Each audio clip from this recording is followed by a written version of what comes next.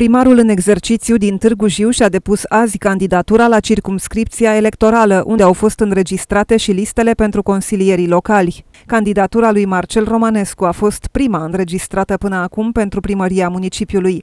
Edilul a recunoscut că are emoții ca și la alegerile anterioare, însă pentru numărul de voturi ce va stabili procentul consilierilor propriului partid. Cu aceleași emoții cu care am, uh, mi-am depus candidatura și în 2017, de data aceasta emoțiile sunt legate în primul rând de procentele pe care le voi obține pe Consiliul Local.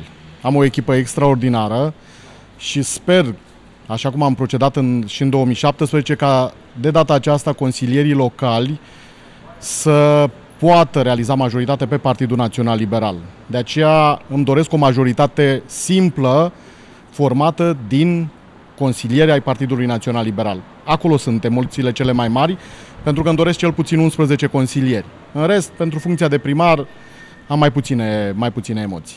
Romanescu a afirmat că cei care vor intra în Consiliul Municipal vor și activa în următorul mandat, trimițând săgeți către PSD, care a format o listă din care primii patru se vor retrage după alegeri, conform unei înregistrări cu liderul de la municipiu. Unul dintre cei care sunt astăzi pe listă nu, vor, nu vor face niciun pas înapoi, nici în lateral, vor rămâne alături de mine pe perioada celor patru ani de mandat Uh, din calitatea de, de primar. De aceea este incalificabil să prezinți o echipă în fața electoratului, să cer votul pentru acea echipă, iar ulterior să vii cu oamenii mai puțin credibil din uh, formațiunea pe care o reprezintă, așa cum, uh, reprezintă așa cum face Partidul Social Democrat.